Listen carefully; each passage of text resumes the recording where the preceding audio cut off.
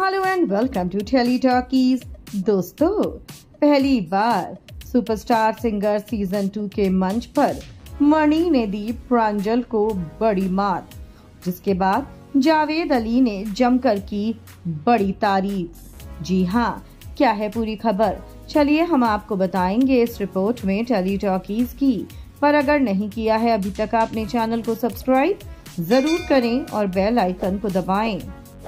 Well well, दोस्तों superstar singer season two के मंच पर इस बार मणि ने कर दिखाया सबसे बड़ा कमाल जो कि किसी ने सोचा भी नहीं था।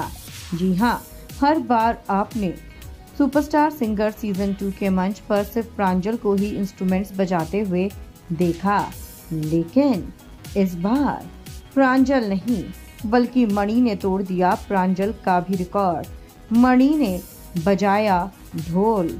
और ढोल ऐसा बजाया कि हर कोई हैरान हो गया। हम आपको बता दें कि प्रांजल ने जब भी कोई इंस्ट्रूमेंट बजाया है तो उसने गाने की धुन के साथ बजाया है।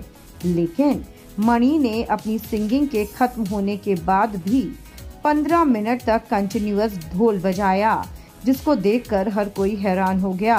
हर कोई झूमने पर मजबूर हो गया। यहाँ तक कि जावेद अली ने तो हाथ ही जोड़ लिए और कह दिया कि ये लड़का है या बवाल है? ये आखिर करता कैसे है ये? मैं मान गया तुमको। आने वाले समय में तुम दुनिया का इतिहास बदल दोगे। तुम देश का नाम रोशन करोगे। मैं ये लिख के देता हूँ कि तुम्हारा भविष्य बहुत उज्जवल होगा, मणि, जिसके बाद मणि नहीं रुका और उसने जब ढोल बजाया तो हम आपको बता दें कि ना सिर्फ़ सारे कंटेस्टेंट्स ना सिर्फ़ लाफ्टर चैलेंज के कंटेस्टेंट ना सिर्फ़ कैप्टन बल्कि जजेस भी नाचने लगे। प्रांजल ने अभी तक या पवनदीप ने अभी तक इतने लंबे समय तक कोई भी इंस्ट्रूमेंट नहीं बजाया। आप क्या कहेंगे? हमें कमेंट्स में लिखकर बताएँ। वीडियो को लाइक और शेयर करना आप ना भूलें।